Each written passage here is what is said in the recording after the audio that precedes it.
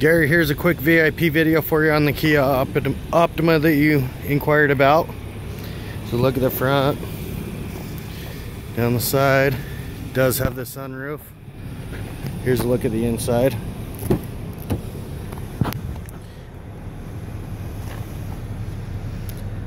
Has the leather seats, heated and cold seats, has the backup camera,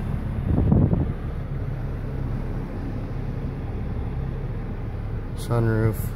There's the back seat.